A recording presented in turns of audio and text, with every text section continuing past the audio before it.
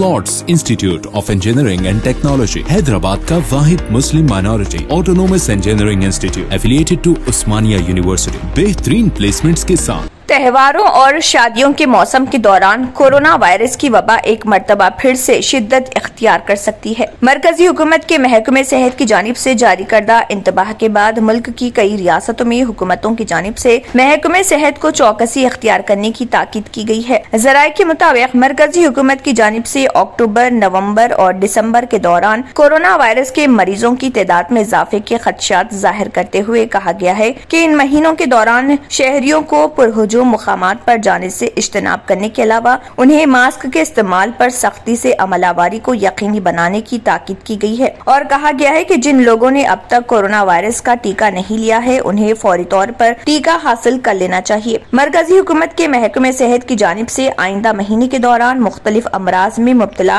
अठारह साल ऐसी कम उम्र के बच्चों को टीका अंदाजी के सिलसिले में इकदाम किए जा रहे और कहा जा रहा है की हुकूमत के पास बारह ऐसी अठारह साल की उम्र के बच्चों को देने के लिए दो टीके मौजूद हैं, जिनमें से किसी एक या दोनों देने का फैसला किया जाएगा। मरकजी वजारत सेहत के इस इंतबा पर मुल्क की कई रियासतों में दोबारा चौकसी अख्तियार करने के इकदाम किए जा रहे और कहा जा रहा है की शादियों के मौसम के अलावा त्योहारों के दौरान एहतियात को यकीनी बनाने के लिए अवाम में शूर उजागर किया जाएगा और उन्हें समाजी फासले की बरकरारी के साथ साथ सर्दी, नजला जुकाम और दीगर अलामत की सूरत में फौरी कोरोना वायरस का मुआयना करवाने का मशवरा दिया जाएगा। तेलंगाना में डेंगू की वबा जारी है और डेंगू के अलावा कोरोना वायरस की अलामतों में कोई ज़्यादा फ़र्क नहीं है, इसलिए आवाम को ज़्यादा से ज़्यादा एहतियात के अलावा फौरी इलाज पर तवज्जो देने की ज़रूरत है।